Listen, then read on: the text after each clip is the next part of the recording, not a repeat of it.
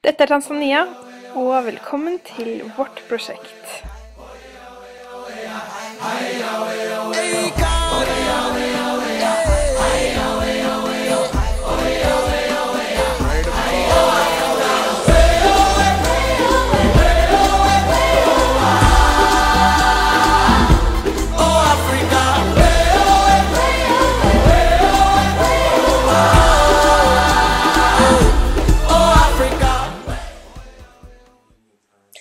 Step by Step Learning Center er en skole for psykisk utviklingshemmede og vanskeligstilte barn.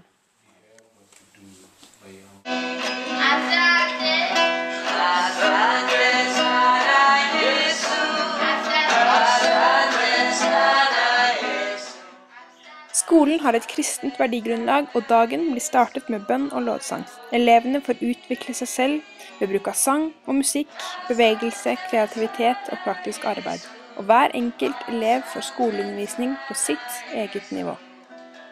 Elevene er i alderen 6 til 27 år, og nå skal du få møte dem.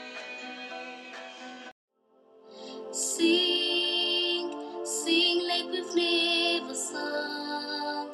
Sing over joy to come.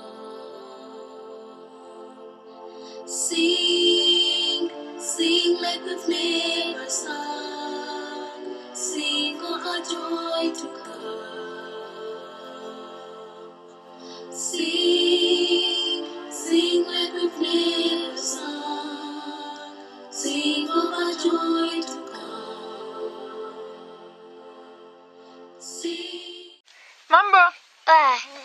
Habari?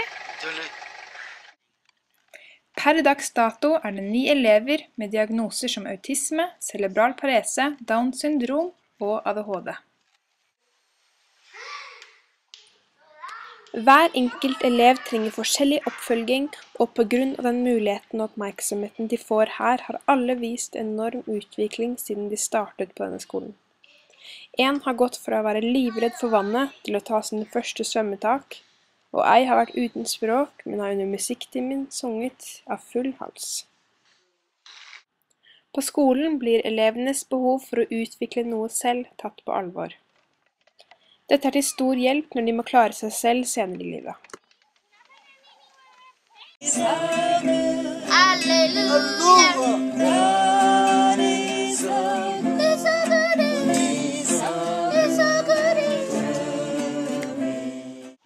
For tiden blir et nytt bygg satt opp på skolegården, slik at elevene får nye omgivelser hvor de kan utfolde seg mer.